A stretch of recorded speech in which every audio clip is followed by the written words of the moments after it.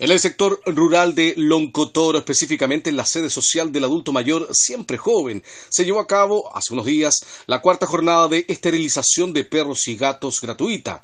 Desde muy temprano los profesionales comenzaron a recibir y registrar a las mascotas que llegaron al lugar, las que fueron esterilizadas durante el día. ¿Usted trajo su mascota hoy día? Sí, mi perrita.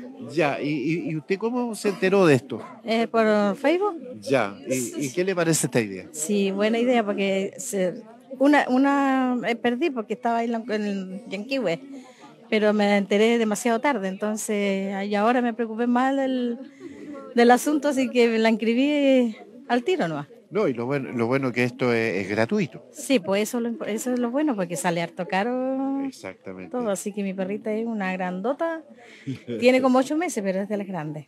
Ya, pero Sí. va a quedar impecable. Sí, pues eso es lo importante. Pues. Y ahí, aparte de eso, tengo otro perro más, pero no lo quise porque como es grande, entonces y hacer mucho catado. Yo creo que habrá una próxima alcalde. ¿Sí? Sí, van a ver próximamente. Ah, ya sé, porque quiero operar a mi gatito. Tengo un gatito. ¿Qué le parece esta idea de venir a Fantástica. traer su, su mascota? Fantástica, pues. ¿Sí? Sí. anda mucho, bueno, igual le estaba diciendo al alcalde recién de que anda mucho animalito botado, que nadie se hace responsable de poder eh, esterilizarlos para que no sigan quedando más gatitos botados. Pero la que traje yo me la botaron en mi casa. Ah, usted, usted digamos que es adoptada. Sí, adoptada. Todos mis, todos mis animales son adoptados. Tengo cuatro perros y cuatro gatos. Y todos son adoptados. Todos los he recogido o los han ido a votar. O los he encontrado botados. Y usted los cuida a todos. Todos, a todos. Sí, a usted le gustan mucho los animales. Los amo con toda mi vida. Esta iniciativa es una muestra de compromiso del municipio con el bienestar animal y el cuidado responsable de las mascotas. Con un total de mil dosis, la jornada de esterilización se seguirán realizando en diferentes puntos de la comuna. tema total y absolutamente gratuito para, para nuestra gente. Ya cualquier procedimiento de estas características en una clínica veterinaria privada tiene un alto costo.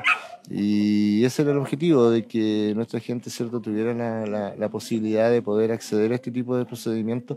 Y la verdad es que estamos contentos, felices y, con muchas ganas de seguir eh, trabajando por el desarrollo de la comuna. Usted bien lo dijo, son mil las mascotas que se quieren, eh, digamos, eh, llegar con este, este beneficio para ellas, ¿no es cierto? Esto se va a seguir replicando, se va a seguir informando, habrá seguramente más adelante en carpeta otra localidad rural.